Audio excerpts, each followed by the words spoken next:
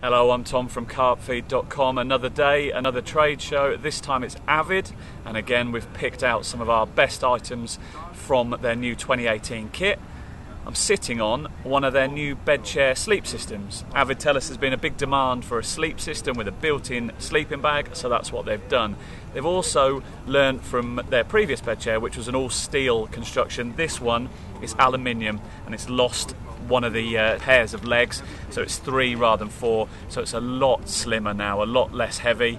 Um, the sleep system, it's still that memory foam that Avid brought to market, but now it's part of the sleeping bag. So this all sits on top of the frame, so it's slightly different, two different layers, super comfy.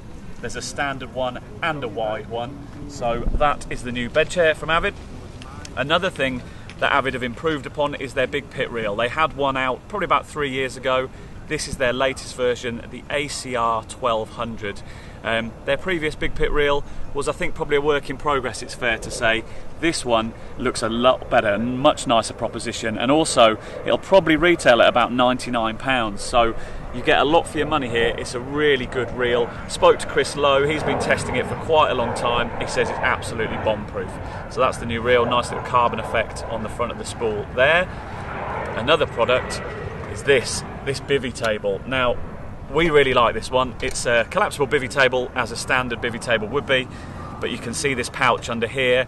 It really it makes use of that dead space under here, zips in and it fits the tuned luggage range under there. Also for the colder months, your gas canister is suspended off the side here so it's not getting cold off the ground, which can be a problem with some gas canisters.